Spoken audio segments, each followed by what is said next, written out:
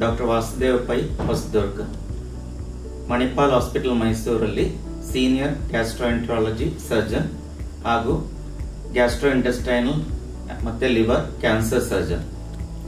ಇವತ್ತು public, public ಅವೇರ್ನೆಸ್ಗಾಗಿ ಗುದಾಶಯದು ಅಥವಾ ಗುದನಾಳದ್ದು ರೆಕ್ಟಲ್ ಕ್ಯಾನ್ಸರ್ ಬಗ್ಗೆ ಮಾತಾಡೋಕ್ಕೆ ಇಷ್ಟಪಡುತ್ತಿದ್ದೀನಿ.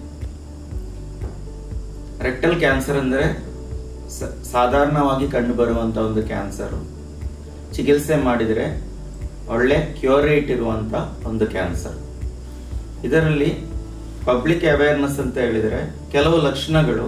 ಲಕ್ಷಣಗಳು ಅಂತ ಹೇಳಿದರೆ ಮಲದ ಜೊತೆ ರಕ್ತ ಮತ್ತೆ ಗೊಣ್ಣೆ ಥರ ಪಾಸ್ ಆಗೋದು. ಇದು ಸಾಮಾನ್ಯ ಜನಗಳು ಪೈಲ್ಸ್ ಅಂತ ಹೇಳ್ಬಿಟ್ಟು ಸೆಲ್ಫ್ ಡಯಾಗ್ನೋಸ್ ಮಾಡಿ ಇಗ್ನೋರ್ ಮಾಡುವಂಥ ಸಾಧ್ಯತೆಗಳು ಜಾಸ್ತಿ ಇದೆ. ಸೊ ಬ್ಲೀಡಿಂಗ್ ಅನ್ನೋ ಒಂದು ಲಕ್ಷಣ ಯಾವತ್ತೂ ಇಗ್ನೋರ್ ಮಾಡಬಾರದು.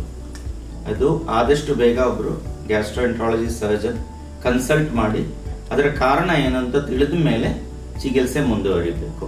ಅದು ಪೈಲ್ಸ್ ಇಂದ ಇರಬಹುದು ಅಥವಾ ರೆಕ್ಟಲ್ ಕ್ಯಾನ್ಸರ್ ಇಂದನೂ ಇರಬಹುದು ಎರಡನೇದು, ಈಗ ಎಷ್ಟೋ ಜನರಿಗೆ ಈ ರೆಕ್ಟಲ್ ಕ್ಯಾನ್ಸರ್ ಅಂತ ಹೇಳಿದರೆ ಇನ್ನು ಪರ್ಮನೆಂಟ್ ಆಗಿ ಬ್ಯಾಗ್ ಹಾಕಿಕೊಂಡು ಓಡಾಡಬೇಕಾ ಅನ್ನೋ ಒಂದು ಭಯ ಇರುತ್ತೆ. ಈಗ ಪರ್ಮನೆಂಟ್ ಆಗಿ ಬ್ಯಾಗ್ ಹಾಕೊಳ್ಳುವಂತ ಸಿಚುವೇಶನ್ ಬರೋದು ನೂರಲ್ಲಿ ಐದಕ್ಕಿಂತ ಕಡಿಮೆ. ನೂರಲ್ಲಿ ತೊಂಬತ್ತೈದು ಪರ್ಸೆಂಟು ಬ್ಯಾಗ್ ಇಲ್ಲದೇನೆ ಚಿಕಿತ್ಸೆ ಮಾಡುವಂತ ಎಲ್ಲ ಅಡ್ವಾನ್ಸ್ಡ್ ಎಕ್ವಿಪ್ಮೆಂಟ್ಸು ಅವೈಲಬಲ್ ಇದೆ. ಅದರಲ್ಲಿ gastrointestinal staplers laparoscopic instruments harmonic scalpel ಇದೆಲ್ಲನೂ ಅವೈಲಬಲ್ ಇದೆ. ಈಗ ಇನ್ನು ಮುಂದೆ ರೊಬೋಟಿಕ್ ಸರ್ಜರಿ ಅಂತ ಕೂಡ ಅವೈಲಬಲ್ ಇದೆ ರೆಕ್ಟಲ್ ಕ್ಯಾನ್ಸರ್ ಸರ್ಜರಿಯಲ್ಲಿ ಇದರ ಲಕ್ಷಣಗಳು ಬೇರೆ ಏನಲ್ಲ. ಒಂದು ಬ್ಲೀಡಿಂಗ್ ಬಿಟ್ಟರೆ ಬೇರೆ ಪೂರ್ತಿ ಮೋಷನ್ ಹೋಗಿ ಆಗಿಲ್ಲ, ಇನ್ನೂ ಹೋಗಲಿಕ್ಕಿದೆ ಅನ್ನೋ ಒಂದು ಇನ್ಕಂಪ್ಲೀಟ್ ಇವ್ಯಾಕ್ಯುಯೇಷನ್ ಫೀಲಿಂಗ್ ಎರಡನೇದು ಪದೇ ಪದೇ ಟಾಯ್ಲೆಟ್ ಹೋಗಬೇಕು ಅಂತ feeling loss of weight loss of appetite tiredness ಹೊಟ್ಟೆಯಲ್ಲಿ ನೋವು, ಇದೆಲ್ಲ ಕಾಣಿಸ್ಕೊಳ್ಬಹುದು. ಮುಖ್ಯವಾಗಿರುವ ಲಕ್ಷಣ ಅಂದ್ರೆ ಬ್ಲೀಡಿಂಗ್ ಇದು ಹೇಗೆ ಡಯಾಗ್ನೋಸ್ ಮಾಡಬಹುದು ಒಂದು, ಲಕ್ಷಣಗಳು ಬಂದ ತಕ್ಷಣ ಹತ್ತಿರದಲ್ಲಿರುವ ಗ್ಯಾಸ್ಟ್ರೋಎಂಟ್ರಾಲಜಿಸ್ಟ್ ಅಥವಾ ಗ್ಯಾಸ್ಟ್ರೋಎಂಟ್ರಾಲಜಿ ಸರ್ಜನ್ ಅನ್ನು ಕನ್ಸಲ್ಟ್ ಮಾಡಿ.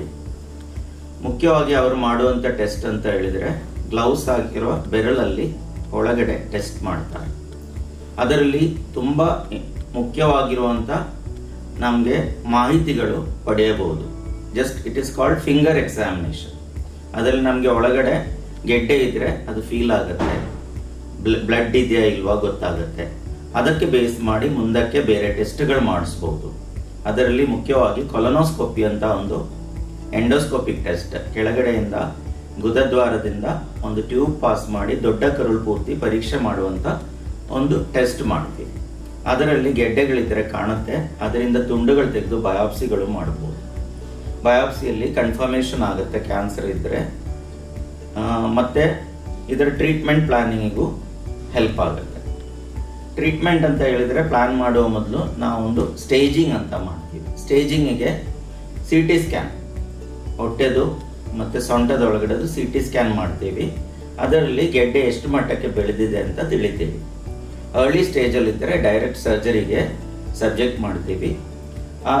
ಇಲ್ಲ, ಸ್ವಲ್ಪ ಅಡ್ವಾನ್ಸ್ಡ್ ಇದೆ, ಹರಡಿದೆ ಅಂತ ಕಂಡ್ರೆ ಫಸ್ಟ್ ರೇಡಿಯೇಷನ್ ಕೀಮೋ ಕೊಟ್ಟು ಡೌನ್ ಸ್ಟೇಜ್ ಮಾಡಿಬಿಟ್ಟು, ಮತ್ತೆ ಸರ್ಜರಿಗೆ ಮುಂದುವರಿ ಸೊ ಕಿವಿ ಮಾತು ಅಂತ ಹೇಳಿದ್ರೆ, ಯಾವುದು ಲಕ್ಷಣಗಳು ಎಸ್ಪೆಷಲಿ ಬ್ಲೀಡಿಂಗ್ ಇಗ್ನೋರ್ ಮಾಡಬೇಡಿ. ಅರ್ಲಿಯಾಗಿ ವೈದ್ಯಕೀಯ ಸಹಾಯವನ್ನು ತೆಗಿರಿ. ಮೂರನೇದು, ಚಿಕಿತ್ಸೆ ಅಡ್ವೈಸ್ ಮಾಡಿದರೆ, ತಡ ಮಾಡದೆ ಮುಂದುವರಿರಿ ಚಿಕಿತ್ಸೆಯಲ್ಲಿ early diagnosis is the key to cure of rectal cancer thank you